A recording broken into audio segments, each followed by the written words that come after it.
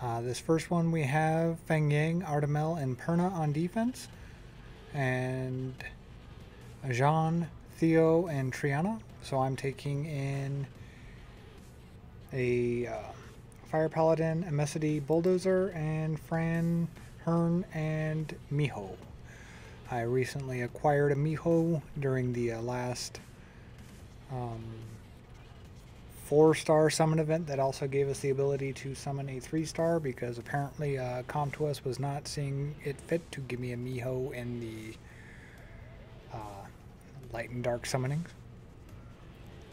So uh, what we got here, uh, Feng Yan and Artamiel are both defense-based tanks. So uh, ignore defense is very strong against them. That's why I brought a Messity Bulldozer. Uh, Fire Paladin Ophelia is a defense uh, leader skill 44%, uh, so just increasing the damage, and Taunt allows my Emesity to not worry about the Perna quite so much, and that's where I went with that combo.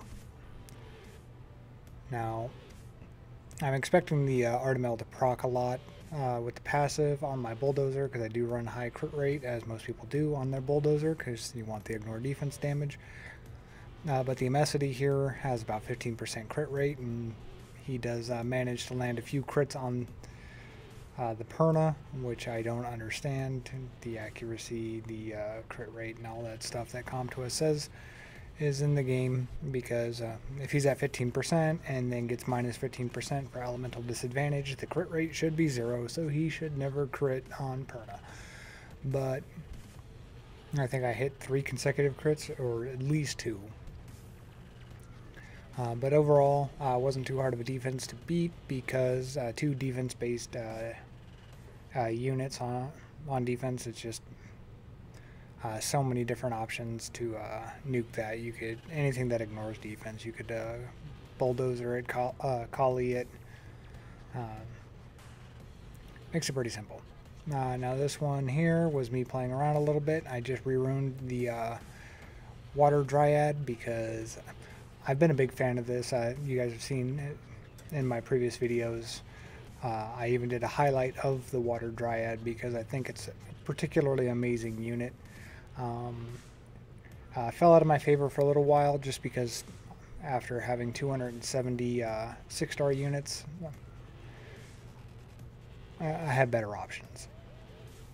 But with the last update that they did uh, for the uh, Water Dryad, where they added the uh, three turn defense break and three turn oblivion, I'm having to uh, find more roles uh, or more usage for this uh, particular unit. It's a, it's a great unit. It's not bad in the slightest. Like I said, I just have a wide variety of units to choose from, so uh, but I definitely will be using uh, the Water Dryad more in the future because uh, just like the meta uh, four star towers and Siege, you see a lot of Mihos and whatnot. So, I mean, this pretty much just uh, a, a well ruined one will eliminate the threat that, that at least it gives you one more attacking opportunity on that particular four star tower if they uh, decided to stack nothing but Miho in it. Uh, this uh, guild match, I was pretty unfortunate because I only landed half the debuffs each time, even though my uh, Hearn is running about 80% accuracy. Uh, but resistance lead and, you know, defense always gets a plus 100% to all their stats anyway, so that's how that worked out. It just took a lot longer than I expected it to. So I was looking forward to playing with my new uh, Miho and trying out the new build on uh, the Water Dryad. And Fran is OP as Fran does. Now you notice that uh, this uh, Triana always has the second skill available when it's on defense, but when you use it on offense, it's not available. So uh, obviously they have a cooldown reduction for uh, Triana on defense.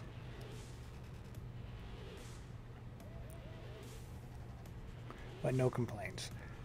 Um, the defense itself, uh, not too hard to overcome. You could have taken multiple units into this and done just as well, rather than taking uh, three and four star units in. Uh, the only threat really here was the Jeanne uh, with the uh, two-turn provoke, but even then, uh, that's why I brought Fran, uh, two-turn immunity, and Fran has a tendency to proc quite frequently, so you usually have immunity when you need it.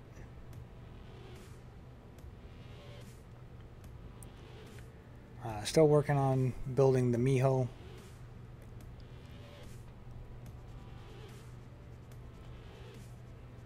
But it will get there. So we'll move on to the next one. So we have a Chiwu, Savannah, and Verad on defense. So I brought Fran, uh, Fire Sniper, and Iris. Um, pretty simplistic thinking for me on this one. Uh, Fire Sniper is always going to throw up defense break on the lowest HP target, and that's the one I'm going to focus down. My Fire Sniper is speed, uh, defense, HP, so it is really tanky. Uh, Fran is going to provide the immunity, so I don't have to worry about the uh, AoE freezes and attack bar reset. And Iris is on Despair uh, Revenge So I figured, and with the passive, with the sustainability, uh, my fire sniper was not going to have any issue just surviving to land the defense breaks. Uh, now we saw Savannah derp, but even if she didn't derp, uh, turn one, um, all three of these units are more than able to tank through a AOE uh, cleave sort of uh, methodology that they were going for with the Verad. Now there's no defense buff, so you didn't have to worry about overbearing damage.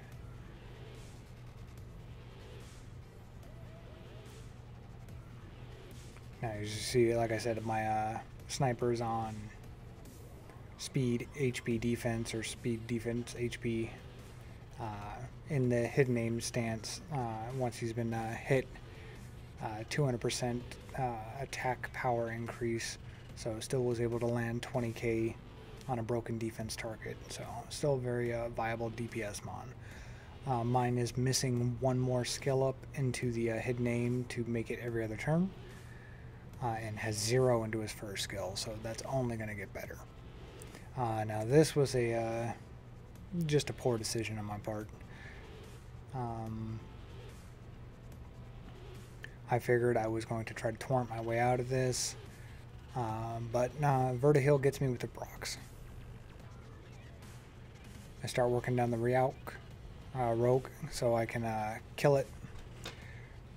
Um, because if a Rogue uh, gets a killing blow, he automatically gets another turn. So I was, I took a gamble on getting a turn before the Verdehile.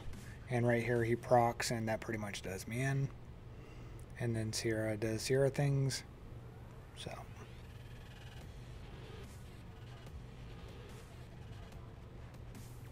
Nine out of ten times I beat this defense. Not a bad defense, though.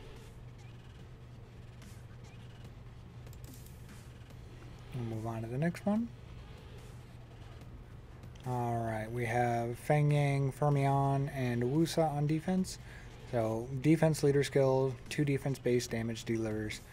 Um, and the best thing in this game is fixed damage. So, anytime you can bring fixed damage, uh, you're in a good uh, situation. And that's why I brought Bolverk and Molong, uh, trying to strip the shield because uh, the only thing that messes up uh, Bolverk is shields. So I want to be able to just uh, Forbidden Golder on him without the shield so I get the maximum reduction in life. So they're going to do their little procs. That's fine. I'm going to heal up, and then I have invincibility on the Molong. I'll go ahead and snipe out the Feng. And now I don't have to worry about defense break. As you see that uh, Fermion is fairly tanky and it's on violent, or defense anyways, opposed to just tanky. 25% uh, chance to sleep, you know. Is always going to land it. So at this point I'm just going to stall out and wait for uh, my skills to cycle. Uh, because, like I said, the defense break is no longer there, so the threat of uh, overbearing damage is now gone. And between uh, Wusa and my Louise, I will nearly always have five stacks. So all I've got to do is remove the shield from something, and then I'll be able to full heal.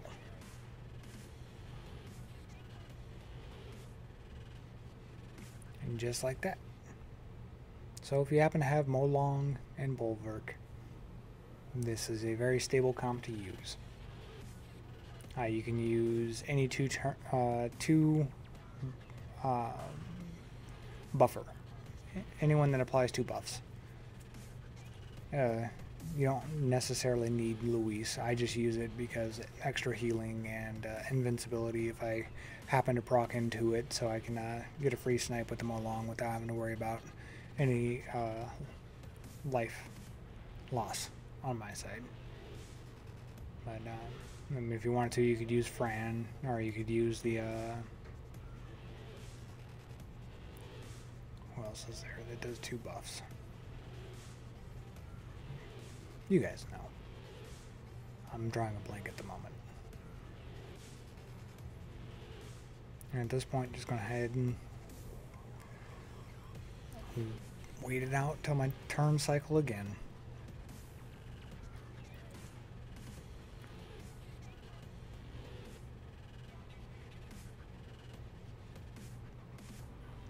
Alright, now we have Molong, uh, Kumar, and Triana on defense, so I bring my standard uh, OP comp. I'm very comfortable with this comp. I know you guys have seen it a hundred times before. just work my way around with the damage. Uh, and Tyrannies are both uh, big DPS units uh, because I do have them built on defense, crit damage, defense, or speed, crit damage, defense. And then Lauren providing the attack bar reduction and the defense break uh, very reliably. Except for on turn one for some unknown reason mine just does not reduce attack bar on a skill 1. Or turn 1.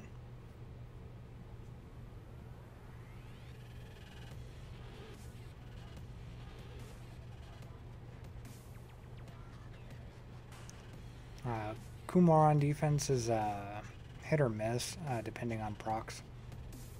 Uh, if he doesn't get that AoE silence, uh, he's not really much of a threat. That's why I brought Velajool. That's why I used this particular comp. And I know Velajool is going to be able to tank a couple of hits, even if he were procced out of uh, the Reckless Assault into Dragon Dance. Uh, my Velajool would have probably still been standing. But that is that guild battle. If you guys see anything I missed, once again, leave it in the comments below. If you saw anything you liked, leave it in the comments. Hit a like on the video, subscribe to the channel, and I'll see you guys in the next one.